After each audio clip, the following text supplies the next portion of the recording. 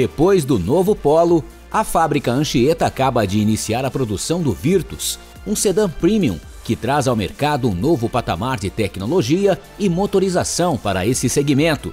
O Virtus é o segundo modelo produzido na unidade Anchieta com a estratégia modular MQB, que permite a incorporação de tecnologias só encontradas em modelos de categorias superiores. Foram investidos 2,6 bilhões de reais para o desenvolvimento e produção do Virtus e do novo Polo. A estamparia recebeu 214 novas ferramentas, a armação ganhou 373 robôs de última geração. A pintura foi reprogramada e customizada. Na montagem final, foi implementado um novo Fahrwerk, onde é feita a união da parte motriz do veículo com a carroceria.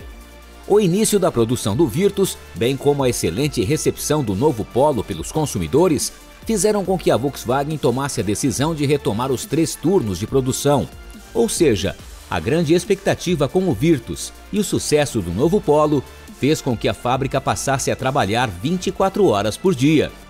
O Virtus está previsto para chegar ao mercado brasileiro em janeiro de 2018 e certamente será um ícone de tecnologia e segurança em seu segmento, assim como o novo Polo.